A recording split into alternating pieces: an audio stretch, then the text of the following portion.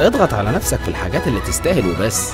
لكن الامساك محتاج دفلاك. بيعمل كملين ويساعد في علاج حالات الامساك. الامساك محتاج دفلاك.